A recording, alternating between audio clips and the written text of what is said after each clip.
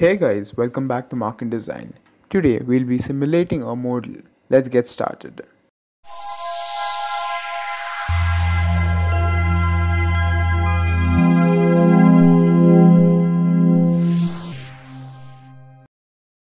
This problem is based on modal analysis of a cantilever beam. The length of the beam is 1 meter. The density is 7830 kg per meter cube. One end is fixed and the dimension of the beam is 0.1 meter and 0.1 meter. In this, we'll find the frequency and different modes of vibration of the beam.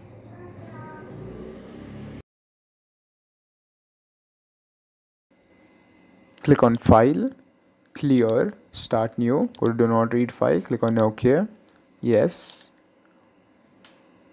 go to Preferences, Structure, OK, go to preprocessor element type add edit delete add the element.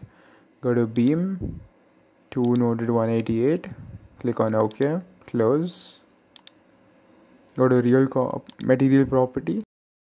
Go to material modes. Go to structure linear elastic isotropic. It's uh, 2 e to the power of 11 11 0 0.0 0 0.3 okay. Go to density the density is 7830 okay.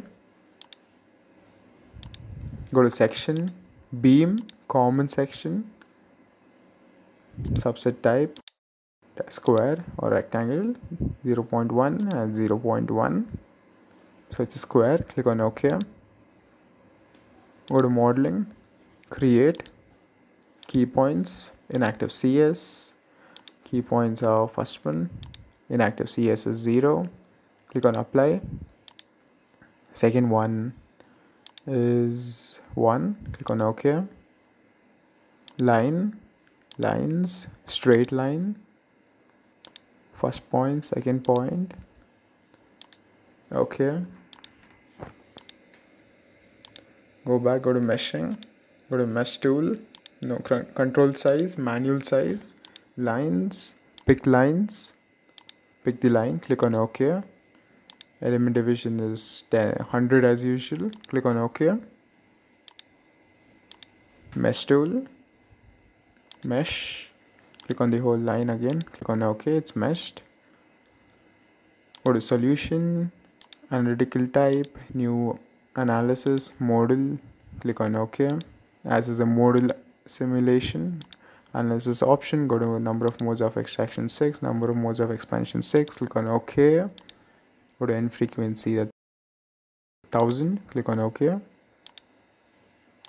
Define load apply structure displacement key points on first point.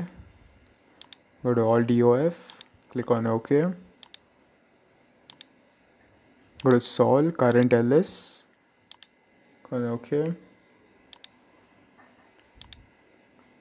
Solution is done. Go to general post processor.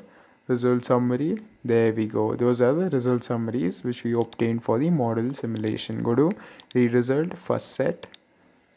Plot result deformation shape deformation plus undeformed oh there we go. That's the first deformation. That is the first step. 0.22 go to the next set. Plot result. Deformation shape. Okay that's the second one. Where is the second that is the deformation?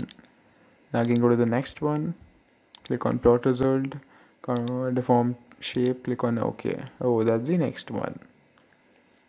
That's point 218 next one. Go to plot result. Deform shape. We get the next one. That's the fourth one this way we can go on finding next sets. Okay.